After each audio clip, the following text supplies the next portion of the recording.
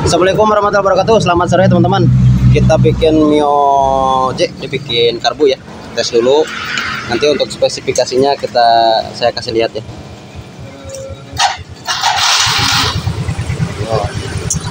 Langsam, si langsam ya, Mas.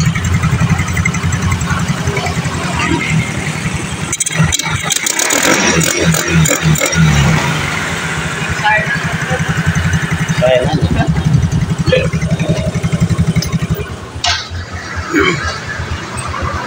Untuk pengapian diganti ya, teman-teman. Jadi ini pakai CDI punyanya Jupiter. Nah, untuk pengambilan arus untuk CDI ini bisa dari uh, yang ke soket IC yang warna merah leres hitam. Kalau pinnya teman teman-teman bisa lihat aja di Google ya, pin untuk Jupiter. Pin soket CDI. Nah, untuk pulser ini potong yang ke uh, ECU-nya ya. Lalu jadi sambung langsung ke CDI-nya ke sini. Nah, ke sini. Untuk yang merah leres eh yang putih leres merah ini ke pin yang nomor 4. Sini. Kalau yang hitam leres biru, hitam leres biru ya. Ini ke pin nomor 5 di sini.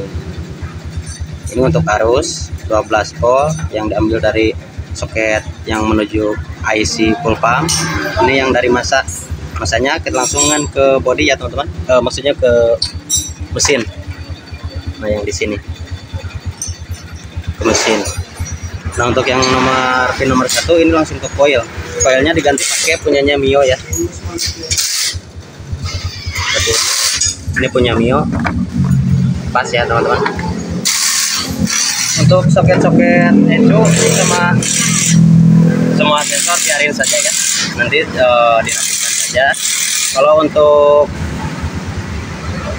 kurungnya itu kamera tuh. kalau untuk karbu sesuaikan selera saja ya. Mau pakai 28 24 atau pakai Supra juga bisa ya. Nah untuk magnet ini enggak diganti ya teman-teman untuk magnet ini enggak diganti terus untuk pick up sensor injeksinya juga enggak diganti. Ini cukup digeser ke sini. Dan uh, untuk pulsernya digeser juga. Untuk pulser di, ditambahin sama mur 1222 ya kiri kanan. Jadi dia uh, agak bergeser ke luar, ke luar ya bergeser keluar saya buka dulu ya teman-teman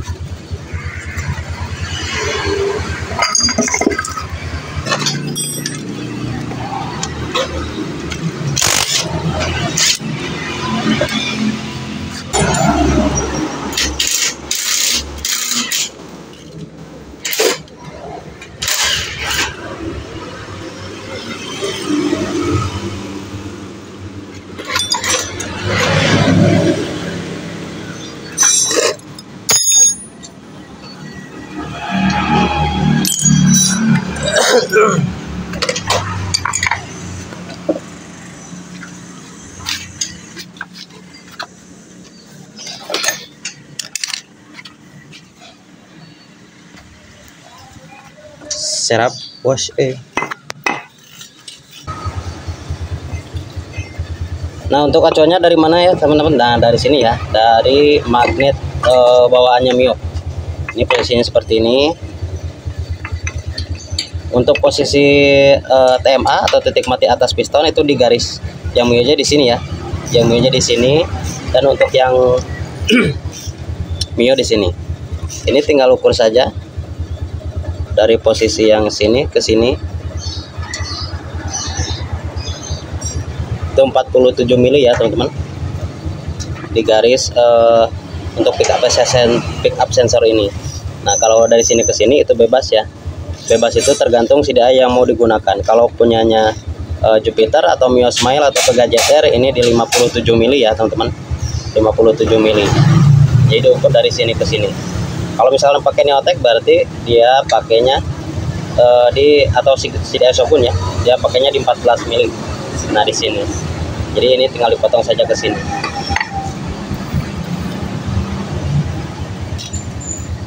Nah jadi dari sini ke sini 47 mili ya teman-teman.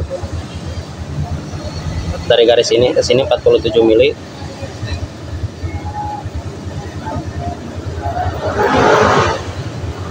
nah dari sini ke sini itu 57 sampai 58 mili. Apa apa ya. Ini pakainya sedianya Jupiter. Untuk pickupnya di sini digeser. Jadi nggak mengganggu untuk sensor pickup untuk sistem injeksi. Nah jadi seperti itu. Uh, rubah injeksi. Mudah ya teman-teman. Ini pulser ini buat pulser. Kalau kalau ditaruh di sini kan ini harus digerinda ya yang kecil. Jadi biarin saja. Nanti takutnya kalau misalkan mau diinjeksi lagi e, susah lagi ya. Kalau gini kan mau diinjeksi tinggal lepas saja baut yang sini ya. Baut yang pulser ini yang dua. Seperti itu ya teman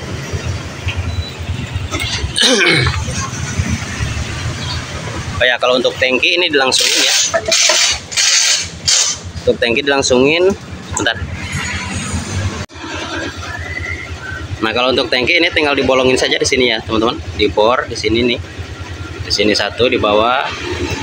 Di sini juga. Terus pakai saringan boleh ya teman-teman. Jadi nggak nggak harus banyak robah-robah ya. Jadi kalau misalkan ganti injeksi tinggal uh, dipindah-pindah-pindah aja soket sama uh, semuanya ya. Oke mungkin untuk video kali ini sekian dulu. Semoga bermanfaat. Selamat siang. Assalamualaikum warahmatullahi wabarakatuh 给他尝